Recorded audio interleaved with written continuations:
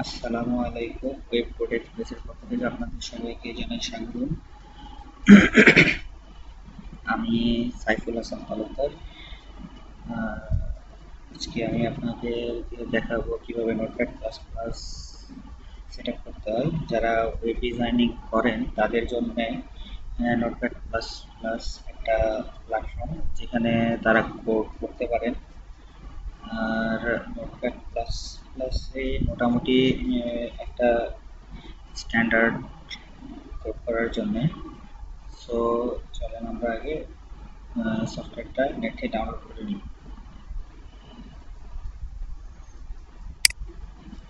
প্রথমে আমরা যাব গুগলে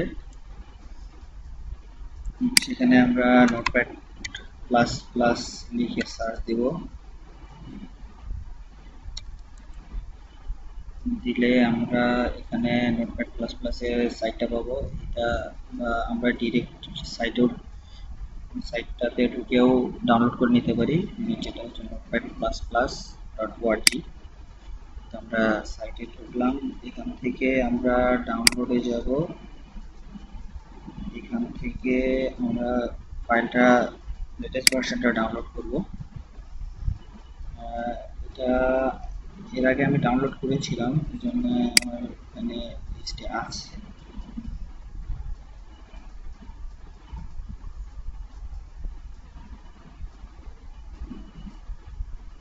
আমাদের ফাইলটা ডাউনলোড হয়ে গেছে, এখন আমরা এটা সেট আপ করব।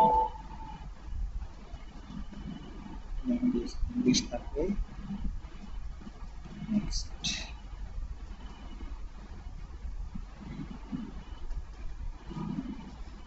ওকে আমাদের নোটপ্যাড প্লাস প্লাসটা সেট আপ হয়ে গেছে।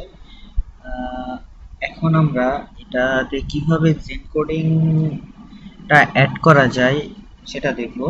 তার আগে একটা কথা হচ্ছে জেন কোডিং সবার জন্য না। জেন কোডিং শুধুমাত্র তাদের জন্যই, যারা ওয়েব ডিজাইনটা পারেন বা কোড জানেন বা লিখতে পারেন এমন তাদের জন্য। যারা কাজ দ্রুত করতে চান, তাদের জন্য জেন কোডিং আর যারা একদমই নতুন বিগিনার্স তাদের ক্ষেত্রে আমি বলব তা, আপনাদের জেন কোডিংটা ইউজ করার দরকারই নেই।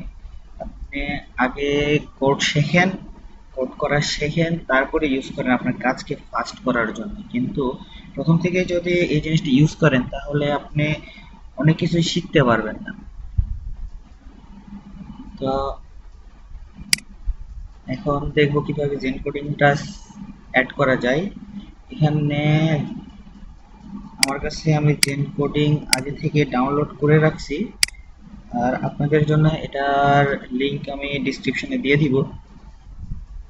তো আমরা জিপ ফাইলটা ওপেন করব ওপেন করার পরে এই ফোল্ডারটা আর এই ডিএলএল ফাইলটা এই দুইটা আমরা কপি করব। কপি করলাম। এরপরে আমরা যাব হচ্ছে হলো কম্পিউটার সি দেন যাব হচ্ছে program files x eighty six আর যারা সিক্সটি ফোর বিটের উইন্ডোজ ইউজ করেন, তাদের জন্য এক্স এইটটি সিক্স আর যারা থার্টি ফোর বিটের থার্টি সরি থার্টি টু বিটের উইন্ডোজ ইউজ করেন, তাদের জন্য প্রোগ্রাম ফাইলসের ভিতরে গেলে নোটপ্যাড প্লাস প্লাসের যে ডিরেক্টরি ফাইল সেটা ফাইলটা এটা পাওয়া যাবে। তো ফোল্ডারটাই যাব, যাওয়ার পরে জেন কোডিং একটা প্লাগইনস আমরা প্লাগইনস ফোল্ডারে যে এটা পেস্ট করে দিব।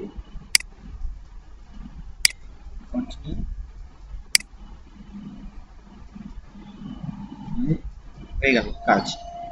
এখন আমরা চেক করি, দেখেন এই জায়গাটাতে একটা হট চিহ্ন আছে, এখানে কিছু নেই। আমরা যদি নোটপ্যাড প্লাস প্লাসটার রিস্টোর করি, তাহলে দেখা যাবে এখানে জেন কোডিং চলে আসছে। তো ধন্যবাদ সবাইকে, ভালো থাকবেন। আসসালামু আলাইকুম।